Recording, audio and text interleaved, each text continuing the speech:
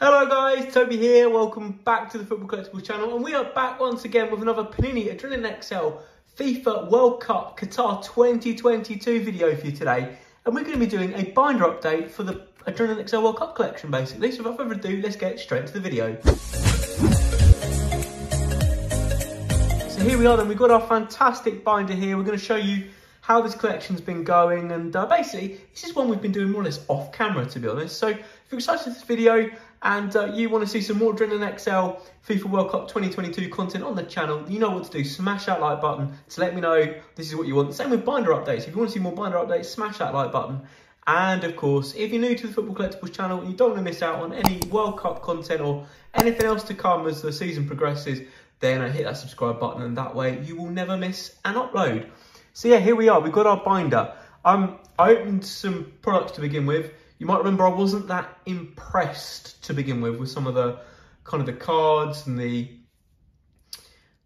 the price as well. It was quite a hefty, pricey collection. But I thought, you know what?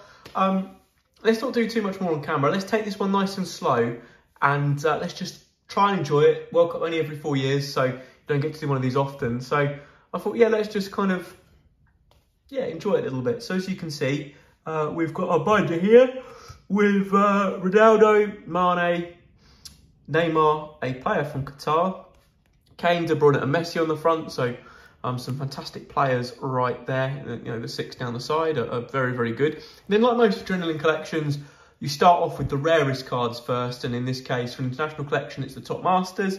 As you can see, the top masters are Di Maria, De Bruyne, Neymar, Kane, Mbappe, uh, Hakimi, Van Dijk and Christian Pulisic.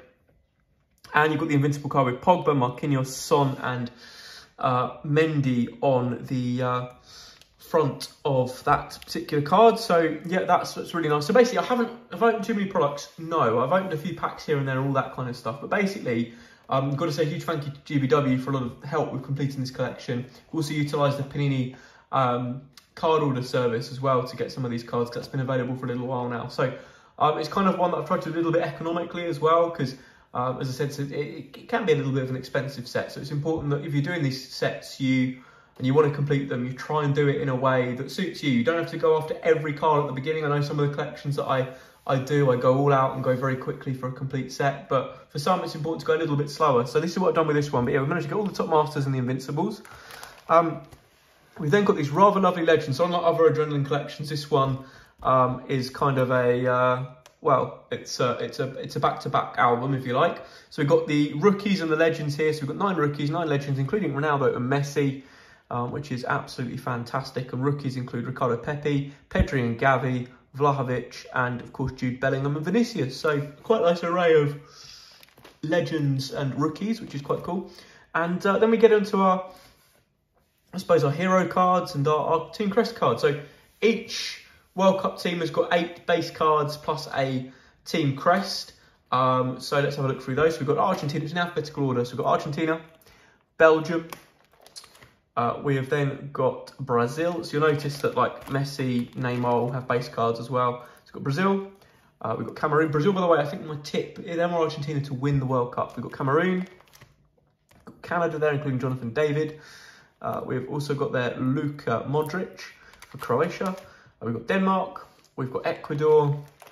Uh, then we've got a nice run of you know really quite strong teams here. We've got England, uh, where you notice no base card for the likes of Jude Bellingham though. Uh, we then got France there, including Mbappe. Germany, Ghana. Uh, we then got Iran, Japan, South Korea, Mexico, Morocco, the Netherlands, including, course, Van Dijk, Poland, including Lewandowski, Portugal, including the man himself, Cristiano Ronaldo, and uh, Jota and Felix, of course, Qatar, Saudi Arabia.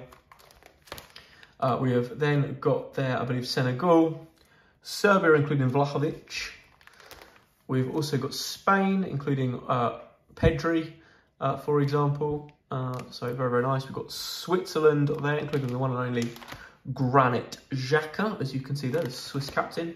Um, we've got Tunisia, and uh, we have also got their Uruguay, and of course the final team of base cards for this part of the album anyway is USA, uh, including uh, a few Premier League players there, Tyler Adams, Pulisic, Aaronson, uh, Antonee Robinson, and of course Arsenal's Matt Turner.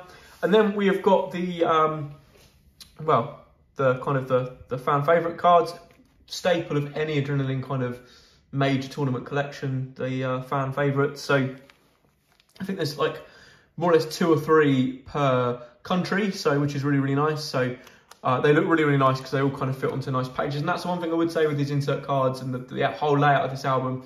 Penny have done a really, really good job of making it look nice um, inside. So yeah, we've got more of the fan favourite cards right there looking absolutely fantastic, including uh, just the two for England in uh, Grealish and Sterling. Got Pogba there for France and Kante. Of course, Pogba won't be going to the World Cup. I'm not even sure Kante is going to be now. So some big injuries, injuries for some certain countries, so they're going to struggle. Well, I was saying that they've got some fantastic midfielders, France. I'm sure they'll be fine. Um, but yeah, we've got uh, Portugal's Pepe there, you know, veteran. Uh, Jordi Alba, a bit of a veteran as well. So pages of those fan favourites, but they look very nice. I like the orange design of the fan favourites. Um, these Titan cards, I think, are some of my favourite, all these kind of Titan um, what are the other ones? We've got Magicians and um, I think it's Goal Machines, yeah. Um, these are some of my favourite cards that I've seen in collections for a long, long time because they're just so clean, the whiteness, and they've got a nice little kind of foil effect to them. I don't know if the camera's quite picking that up. Hopefully you can see it. Yeah, it might be able to just see it on the Rudiger there, but really lovely foil effect. So we've got the Titans there. There's 18 of these. We've got the Magicians as well. Uh, there's a further 18 of those. And uh, then we've got the goal machines, and they just look so clean. Some big names in the old goal machines as well with Benzema, Kane. Uh, I think there's uh, Ronaldo. I think there's probably Messi as well. Yeah, Messi at the top. Ronaldo down here. So yeah, it, it, it they, they, look nice, those cards. They're really clean. Love the action shots. Always love a good action shot on a card. For me, that's what a football card should look like. It's really, really good. We've then got the top keepers. I think there's just nine of those. So they kind of got a nice gold effect. Um, not quite as keen on these. I think there's a bit too much going on on them. Um, but they're quite nice. They're not too bad, um, which is cool. And then we've got the game changers again. Um, we've got Saka there, of course, for England. Um, you know, and a few other exciting names there. Uh, so, yeah, they're not too bad. They're quite nice. But just, again, a little bit too much going on for me, those gold cards, unfortunately.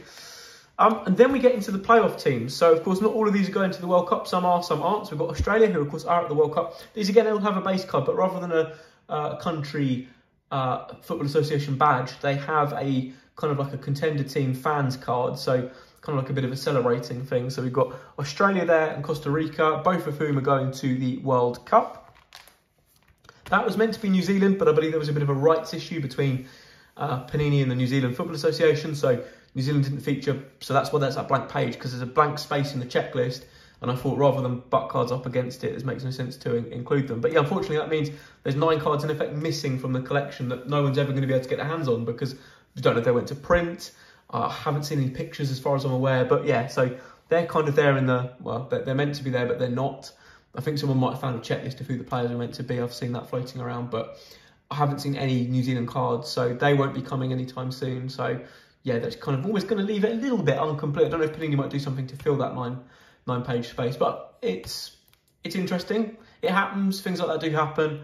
Um, but yeah, it is what it is, I guess. Got Peru also didn't sadly make it to the World Cup. We've got Scotland again didn't qualify. The UAE also didn't qualify. Ukraine sadly didn't qualify. There is a little bit of talk that they might come in and replace Iran. This close to the World Cup, I doubt it. But uh, with all the human rights things going on there, who knows?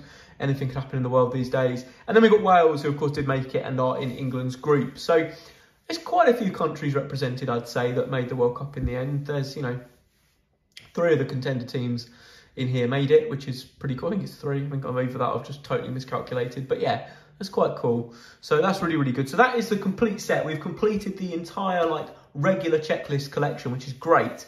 But of course, we always like to go for the limited editions. Limited editions where we're lacking a little bit. We're only going for the UK limited editions. We're not going to go for the ones from a, from abroad. We know these World Cup collections go crazy for limited editions, and you get more or less every player in the album could end up with a limited edition card. So, um, yeah, we're just going to go for the ones that are on the UK game guide.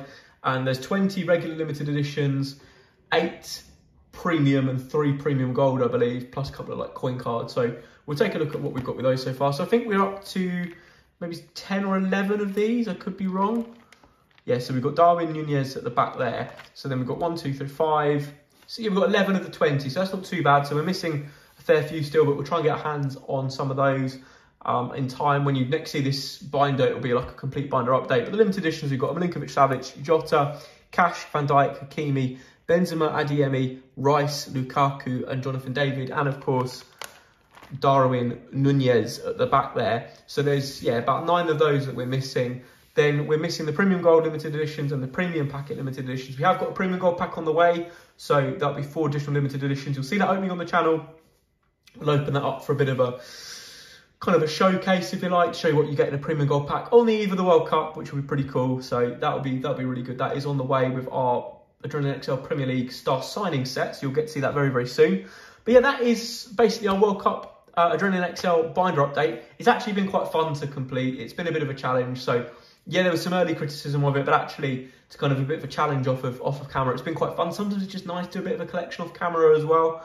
Um, we will aim to get all those remaining limited edition cards. I think it's about uh, 18 limited editions that we're missing in total, or, or, something. About 20. I think it's about 20.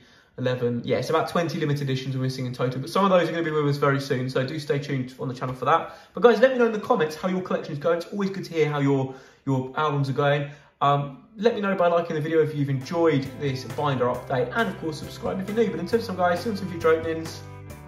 It's goodbye.